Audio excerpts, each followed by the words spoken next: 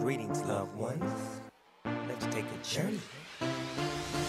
I know a place where the grass is really greener. Warm, wet, and wild. There must be something in the water. Sipping gin and juice.